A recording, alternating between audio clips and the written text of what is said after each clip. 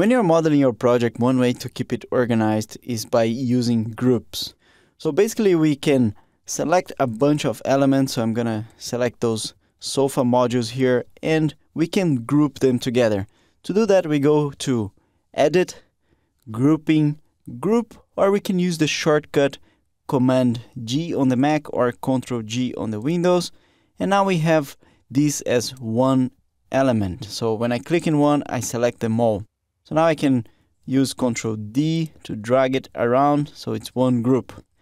Sometimes when you model the wall using the rectangular method, the walls will come as one group as well.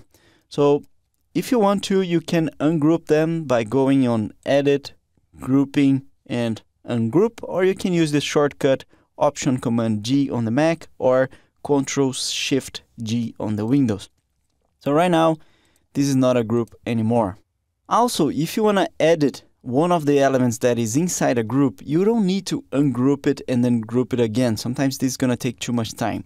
What you can do is use this icon here on the top to suspend groups temporarily or use the shortcut Option G on the Mac or Alt G on the Windows.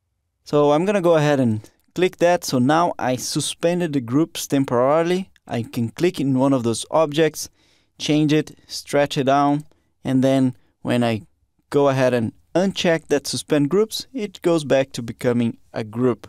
So that's a way for you to edit one element without having to ungroup everything.